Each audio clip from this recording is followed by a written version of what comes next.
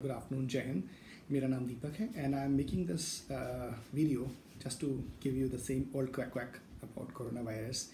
Yes, indeed, I know that you are having plenty of information uh, from different sources, from social media, from Instagram, Facebook, WhatsApp, and you know there are a number of sources from you are getting different kind of information.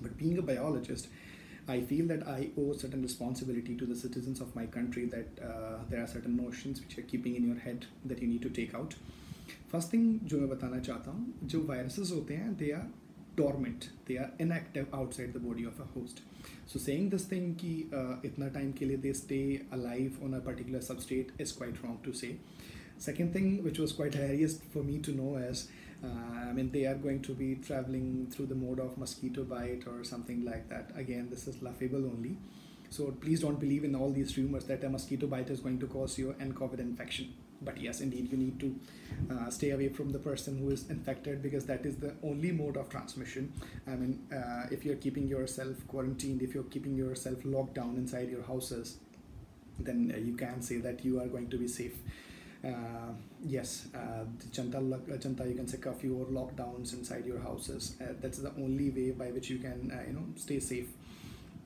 And uh, one more thing that I wish to add to this is uh, social distancing thing, right?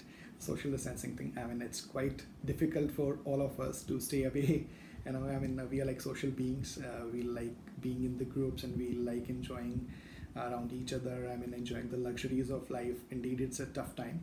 Uh, but if we need to uh, like battle out this tough situation, we need to understand the gravity of this particular issue. Uh, there are like certain people there are certain i would say stupid people who are not understanding the magnitude and gravity of this problem. I wish i request all of them to please look around in the different countries where the same problem has occurred. And now it has become a global issue.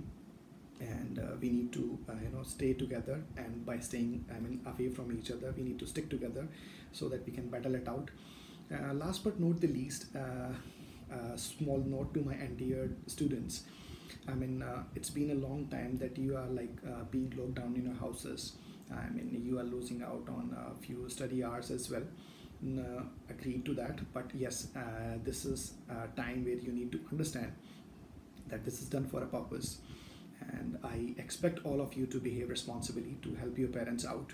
I, I do agree that this is a little little boring time, but you need to figure out different ways in which you can uh, help your parents out and in which you need you know you can cope up with your studies. I mean um, there's a little lack of resources maybe around you. Uh, you're not having the availability of your teachers around you.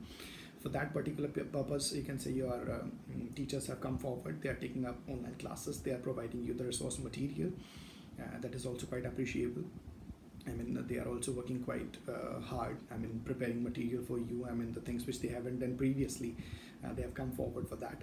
Uh, that is also appreciable. Again, uh, a note for the parents as well. Parents have been uh, complaining about this that we do not get enough amount of time with our children. Now they're having plenty of time. They can share their childhood stories with them. They can help their children out with their problems. They can help them out with their studies they can help them you know uh, keep uh, sanitized keep hygienic and uh, tell them certain points where which which they haven't been able to discuss because of shortage of time.